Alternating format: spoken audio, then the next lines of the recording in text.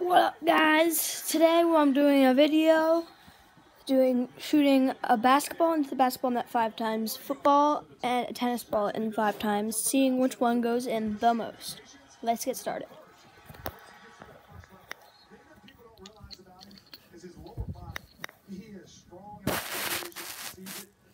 And being smaller like that, it's tough to tackle when you're exposed. Really good block there by Taylor Lewan. And, and playing in this Rod Marinelli defense, they have smaller guys.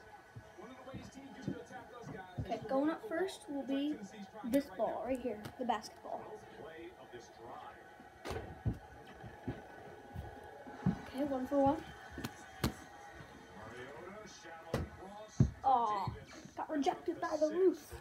One for two. With the tackle. Oh, one for three. Marcus can't make a living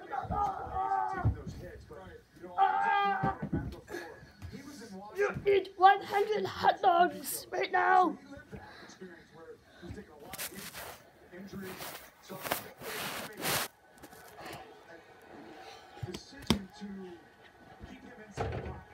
No. One for five. Not good. No, I got rejected by the roof again. Okay, now it's time to do the tennis ball. Like that. So, right now the basketball has the one seed, but only has a one for five. And it's definitely gonna get beaten by tennis ball. I don't know about the football because pretty small net. Let's try the tennis ball. Sorry, Bill. One. We're one for one.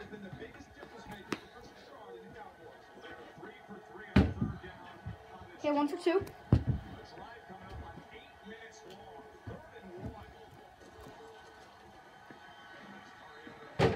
Two for three.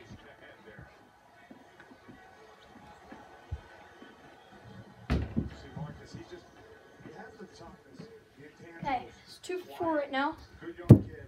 But in year four, oh! he has Oh, to take that next step. Getting that snap, going under center. You don't see him doing that. one seed, two seed. Okay, let's try the football now. Inside the pocket as a pocket passer to say, hey, that's our franchise quarterback. You have more interceptions. Oh for one. Touchdowns. You know, when somebody that's not on him, somebody that's on the coaches, you have to challenge your young quarterback. Don't always do what he does well. Oh, one for one for two. challenge your young guy. You know, that two-point conversion there, they went, they threw a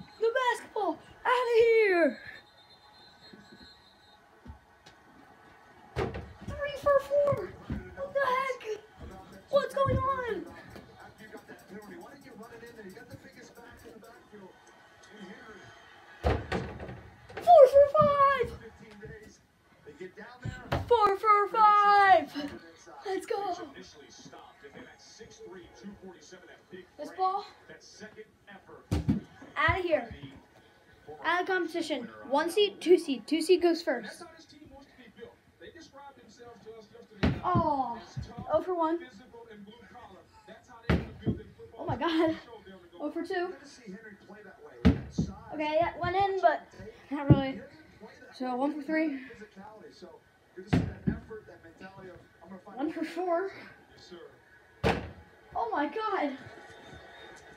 Only going one for five. Tied worst performance in the whole competition. So, if this gets more than one in, it wins it all. Let's get this started.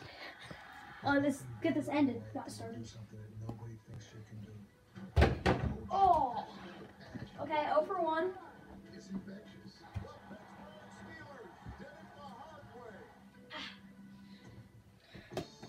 0 for 1. 1 for 2! One more, and the football wins the competition. Okay. One more, football wins the whole competition. Let's go. Oh no! One for three. Really?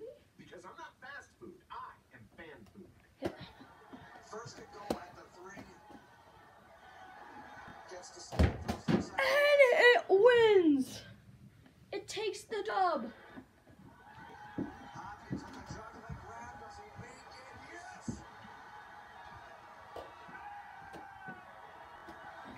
Well, that's a wrap. Basketball taking third place, which is very surprising on a basketball hoop. Tennis ball taking second place. And the football winning it all. And by all, I mean, well, nothing. So, yeah. Make sure to like and subscribe. And stay tuned for the next video.